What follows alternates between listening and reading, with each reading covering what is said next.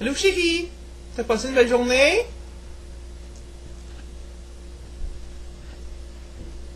À quoi tu penses?